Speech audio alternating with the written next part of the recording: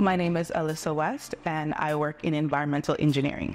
To be honest, I didn't even know what career I wanted to do. I never even heard of environmental engineering at the time, but my then manager just recommended it to me and he said that it was going to be an amazing opportunity. So I just jumped right in and I loved it ever since. I think the most exciting thing about my job is the fact that we're learning something new every single day with the environment, it's always changing. And so we as environmental engineers have to change our processes, our mindset, and our equations to match up with the environment. So it's challenging, but it's very rewarding.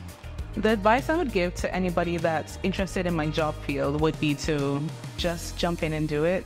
There are so many opportunities for growth in environmental engineering.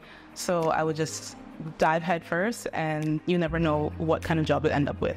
I think the biggest misconception about my field is that it's mostly reserved for men.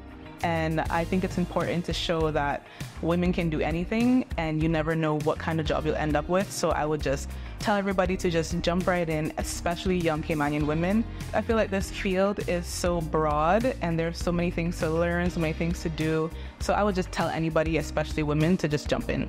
I think with my field, there's so many opportunities to grow and to learn and to learn new skills, meet new people, and just really better yourself. I studied environmental science and policy, but the two tie in because it's environmental and engineering. So I would definitely tell somebody to uh, study within one of those fields or both if you can and learn as much as you can, and it'll make transitioning into this field so much easier.